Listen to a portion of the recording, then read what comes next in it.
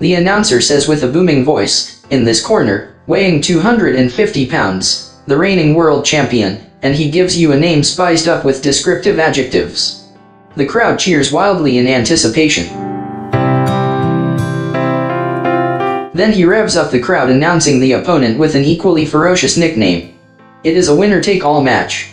As you anxiously await the opening bell your coach gives you last-minute instructions. The instructions include inspiring encouragement but also what you need to hear to be successful in battle. The bell sounds and the action begins. You dodge what you can but absorb many powerful punches. The battle is on. Except for a few fictitious details I am not describing a boxing match but the battle we face every day in the real world, life itself.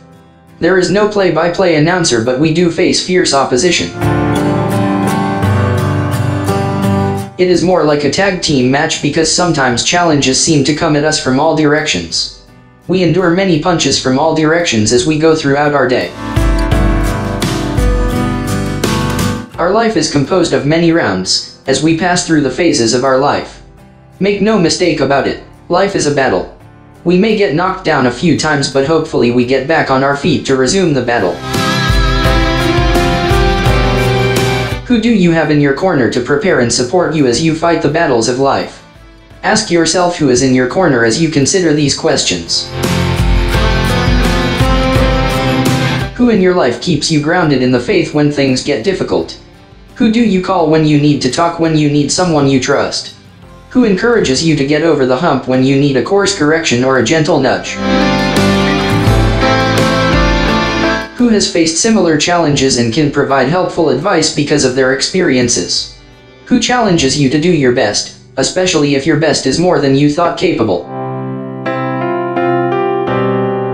Who in your life has their priorities right and can be an example for you of keeping life in perspective. Who do you go to for truthful advice, telling you what you need to hear not what you want to hear. Who can you count on to never let you down, even when others run away? Who loves you unconditionally, regardless of failures and mistakes? Who loves you for who you are? Who has helped you get you where you are and will want to see you succeed? Who is willing to lighten your load at critical times so you can focus on addressing a particular issue or task? One of my favorite Mercy's Well songs is called I'll Never Be Alone. The song reminds us that God offers us grace, hope, mercy, peace, strength and wings to keep on soaring every day. God is your first line of defense and will never leave you or forsake you. Hebrews 13, verse 5, and Deuteronomy 31, verse 6.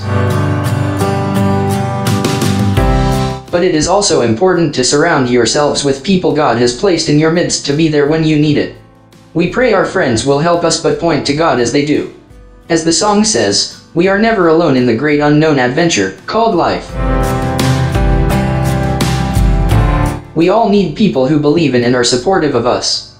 The above list is seemingly endless, but hopefully you can think of one or more names for each question.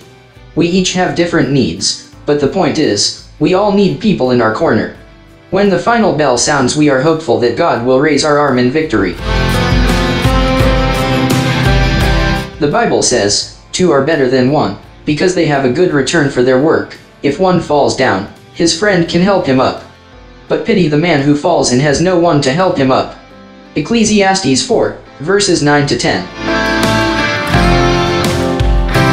The question for meditation is, who are the people in your life who provide you with the support you need and remind you of God's love for you? Look at the questions above and fill in names of people who are there for you. Let us pray. We thank you, Lord, for your unconditional love.